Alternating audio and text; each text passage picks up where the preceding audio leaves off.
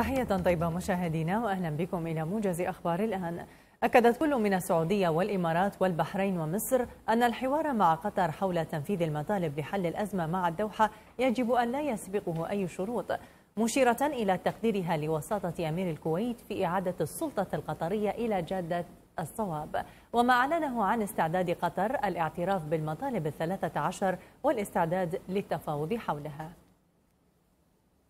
ذكرت وكالة الإعلام الروسية نقلا عن وزارة الدفاع أن نحو أربعين فردا من مسلحي داعش بينهم أربعة من قيادات التنظيم قتلوا قرب مدينة دير الزور شرق سوريا في ضربة جوية روسية. وقالت الوكالة إن من بين القتلى أبو محمد الشمالي الذي يشرف على المقاتلين الأجانب في التنظيم. قالت فرنسا إنها تدقق في أدلة جاءت في تحقيق أجرته الأمم المتحدة تظهر أن قوات النظام السوري استخدمت أسلحة كيميائية في هجمات متعددة في عام 2017 وقبله.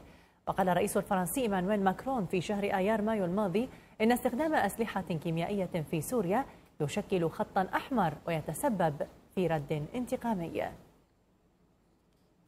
أدت الهزائم المتتالية التي مني بها داعش في العراق إلى تضييق الخناق على زعيمه أبي بكر البغدادي ومحاصرته ضمن مساحة ضيقة في الأراضي العراقية بحسب ما نقلت وكالة فرانس بريس عن خبراء ومسؤولين.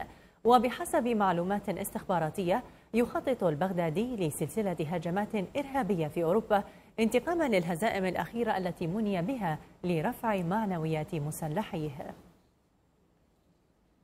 أعلنت مسؤولة كبيرة في الأمم المتحدة الجمعة أن حصيلة ضحايا أعمال العنف في ولاية راخيم بغرب ميانمار قد تتجاوز الألف قتيل أي أكثر من الأرقام الحكومية بمرتين. كما أعلنت الأمم المتحدة أن أكثر من ربع مليون شخص من أقلية الروهينجا المسلمة دخلوا بنغلاديش منذ اندلاع دوامة العنف الأخيرة في ميانمار في شهر أكتوبر تشرين الأول الماضي. ظهر إعصاران آخران في المحيط الأطلسي هما خوسيه وكاتيا في الوقت الذي تسبب الإعصار العنيف إيرما بقتلى وجرحى في جزر الكاريبي وبورتوريكو متجها نحو السواحل الأمريكية. وقتل شخصان في بورتريكو جراء إعصار إيرما المصنف من الدرجة الخامسة بعد أن أودى بحياة أربعة آخرين في فيرجن آيلاندز الأمريكية وأحدث دمارا واسعا فيها. أكدت السلطات المكسيكية الجمعة وقوع موجات مد بحرية تسونامي إثر الزلزال العنيف الذي حدث قبالة سواحل جنوبي البلاد فيما لقي اثنان مصرعهم جراء الزلزال.